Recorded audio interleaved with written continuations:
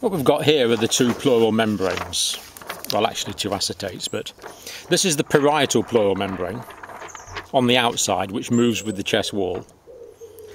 And this is the visceral pleural membrane attached to the surface of the lung.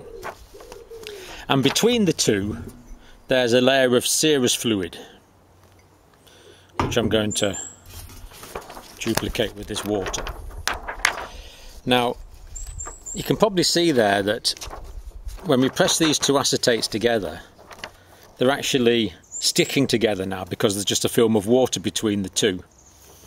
So now if I hold the parietal pleural membrane, and I'll just show you I'm not cheating, that's the parietal pleural membrane there. It's now fixed onto the visceral pleural membrane. Now if the chest wall moves up and out, I think you can see that because the two membranes are stuck together, the visceral pleural membrane will move with the parietal pleural membrane. And of course the parietal pleural membrane is fixed to the chest wall. So that's going to move with the expansions of the chest wall. The parietal pleural membrane also goes over the surface of the diaphragm. And that means the lung, which is attached to the visceral pleural membrane below, is going to expand with the chest wall.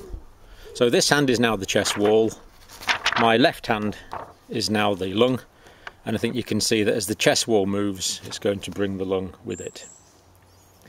Because these two membranes are stuck together.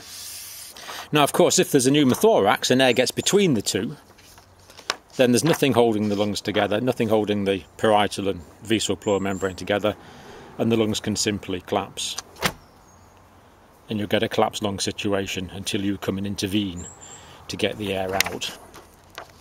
So in the physiological situation, there's actually a negative pressure there of about 4 millimetres of mercury between the two membranes and they move together.